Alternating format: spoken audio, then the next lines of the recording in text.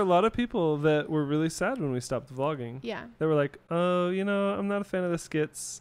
I really miss Just you guys vlogging. I miss seeing the family experiences and the travels and stuff. Like, they wanted real. Yeah. Well, and here's another thing. I and I do feel bad for them because Yeah. they don't get that anymore. I started getting a specific critique that was, why are you sharing the days that are bad? Like, you should be happy all the time. Like, don't show me that. Like, I actually had my dad get mad at me because he was watching the vlogs before we moved into the same house together. And he's like, why did you film that sad day? That was just a downer. I did That not want to watch that. was that was a sad video. And I was like, that's my life, dad. Like, it's my life. It's not just a video. Like I I just filmed what happened, but I got Right. those type of critiques enough that I was like, okay, I'm not allowed to have a sad day.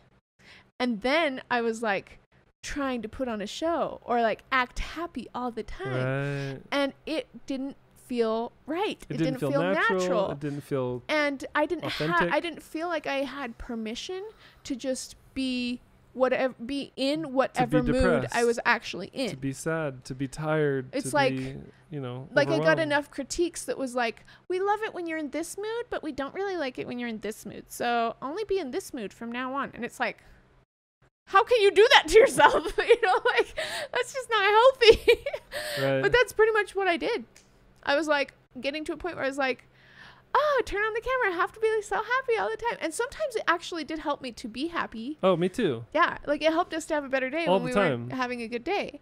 But the thing is, you can't do that all the time. Right.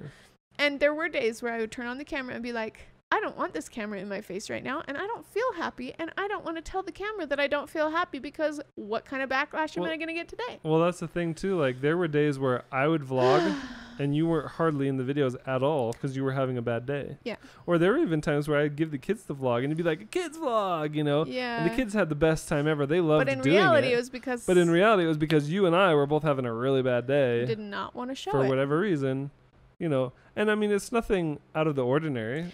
No, it's just People like just have struggles in their life, and maybe I was having a bad day because, you know, something's going on in my family, or you know, maybe I'm overwhelmed because of bills or taxes, and I'm setting up the business, and this is really hard and scary, the and I'm stuff that you depressed can't or film. whatever. That's just everyday life stuff that's not exciting to Yeah.